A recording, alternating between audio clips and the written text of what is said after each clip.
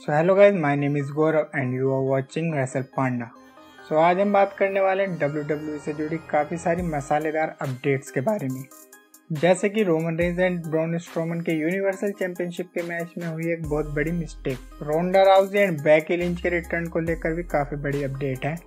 Field and Alexa Bliss के new opponent कौन होने वाले हैं ये भी हो चुका है रिवील रो अंडरग्राउंड के प्लान्स हो चुके हैं कैंसिल बिगी का होने वाला character change W W SmackDown की व्यूवरशिप भी हो चुकी है रिवील एंड ये एक बार फिर से जा चुकी हैं डाउन एंड साथ ही साथ बात करेंगे कल होने वाली मंडे नाइट रो के बारे में. सो so, वीडियो होने वाली है काफ़ी इंटरेस्टिंग आपको देखना वीडियो को बिल्कुल लास्ट तक. चैनल को कर लेना है सब्सक्राइब एंड नोटिफिकेशन बेल को ऑन ताकि चैनल से जुड़ी सारी अपडेट जानने को मिलती रहे. तो चलिए वीडियो शुरू करते हैं बिना किसी देरी के.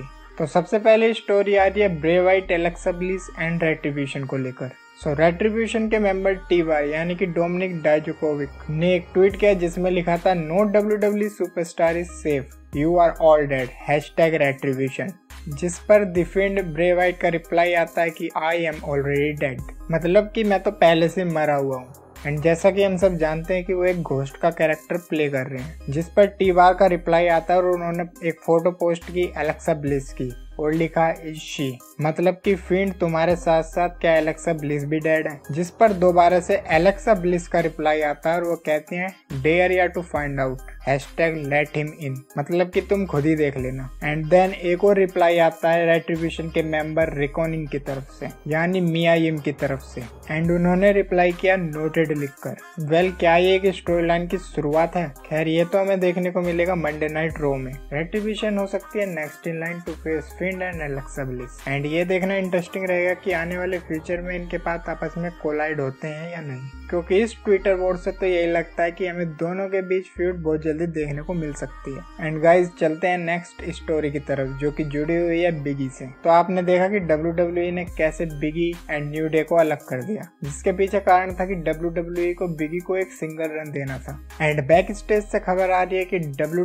बिगी को एक काफ़ी बड़ा पुश देने वाली है। एंड साथ ही साथ उनके कैरेक्टर में भी चेंज करने वाली है। सो so, अब हमें बिगी देखने को मिलेंगे as a serious character well W के प्लान्स तो हैं कि बिगी को एक मेगा पुश मिले लेकिन डब्ल्यू के ये प्लान्स कभी भी फुस हो सकते हैं। एंड नेक्स्ट अपडेट आती है स्मैकडाउन की ओवरनाइट व्यूअरशिप को लेकर, जो कि हो चुकी है रिवील एंड इस हफ़्ते की व्यूअरशिप के हाल काफ़ी बुरे हैं, क्योंकि ये व्यूअरशिप गिर चुकी है पिछले हफ़्ते से नाइन परसेंट पिछले हफ़्ते स्मैकडाउन को व्यूवरशिप मिल रही थी 2.087 मिलियन जो कि इस हफ़्ते 9 परसेंट गिर चुकी है और ये जा चुकी है 2 मिलियन से भी नीचे।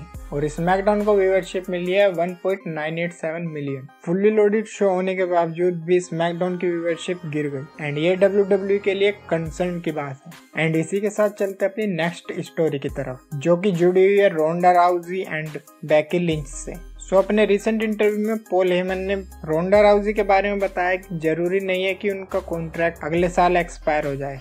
हो सकता है कि उन्होंने अपना कॉन्ट्रैक्ट पहले से ही रिन्यू करवा लिया हो। एंड जिसके बाद रोंडा राउजी हमें देखने को मिली डब्ल्यू परफॉर्मेंस सेंटर में ट्रेनिंग करती हुई। एंड डब्ल्यू डब्ल्यू जल्द ही राउंडा राउजी का रिटर्न करवा सकती है। And wrestling news dot com की माने तो विंस विकमैन रेसलमेनिया 37 में Ronda Rousey versus Becky Lynch का मैच कराना चाहते हैं। बैकी लिंच जो कि फ़िलहाल प्रेग्नेंट है एंड इस हफ़्ते वो नज़र आई स्मैकडाउन के बैक स्टेज पर। एंड एक्सपेक्टेड है कि दिसंबर या जनवरी के महीने में अपने बेबी को बर्थ देंगी। एंड जिसके बाद उनका रिटर्न होगा डब्ल्यू डब्ल्यू में।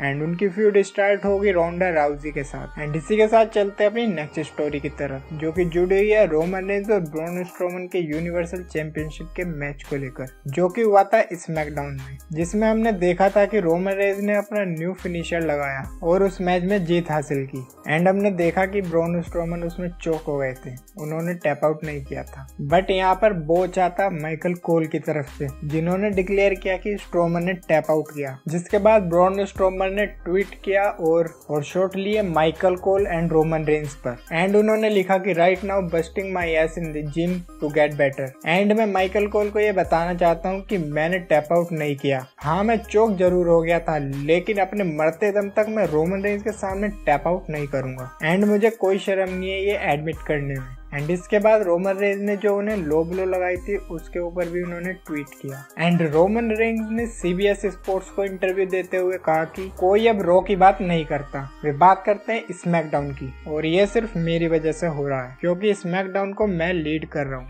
एंड अगले चार पाँच साल में मैं एक मार्क बनाऊँगा जो की अनटचेबल होगा। एंड अपना status as a hall of fame बनाऊँगा। एंड मैं अपनी लेगेसी बनाऊँगा एंड मेरे फैमिली मेंबर्स मुझ पर प्राउड होंगे। एंड कुछ ये कहना था रोमन रेंज का। एंड ऐसा लग रहा है कि रोमन रेंज का ये जो हील वाला परसोना है, ये काफ़ी सालों तक चलने वाला है। एंड धीरे धीरे रोमन रेंज के कैरेक्टर की सारी परतें खुलने वाली है। एंड अब बात कर लेते हैं कल होने वाली मंडे नाइट रो के बारे में, जिसमें डब्ल्यू डब्ल्यू ने पहले से ही काफ़ी कुछ एडवर्टाइज कर रखा है। एंड सबसे पहले बात कर लेते हैं फायर फ्लाई फन हाउस के बारे में। एंड एंड यहाँ पर हमें पता चल सकता है कि the Fiend and Alexa Bliss का नेक्स्ट अपोनेंट कौन होने वाला है? एंड रेट्रीब्यूशन के साथ जो उनकी कहानी चल रही है, क्या उसका कोई सेंस बनता है? एंड नेक्स्ट क्योंकि एलायस का रिटर्न हुआ है तो आपको उनका कॉन्सर्ट वाला सेगमेंट देखने को मिल सकता है एंड पॉसिबली यहाँ पर जेफ हार्डी अटैक कर सकते हैं एलायस के ऊपर। आज का वर्सेज लाना का मैच भी होने वाला है रो चैंपियनशिप के लिए।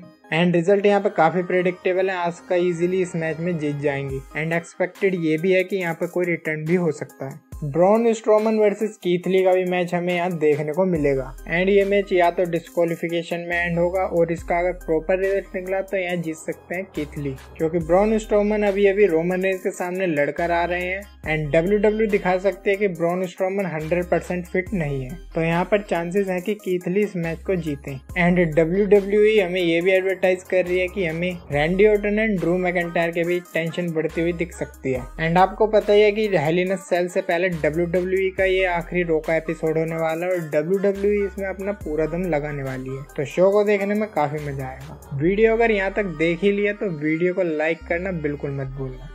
चैनल को सब्सक्राइब करें एंड नोटिफिकेशन बेल को ऑन ताकि चैनल से जुड़ी सारी अपडेट जानने को मिलती रहे। एंड मैं आपके लिए हमेशा ऐसी वीडियो लाता रहूँ। तो चलिए मिलते हैं नेक्स्ट वीडियो में।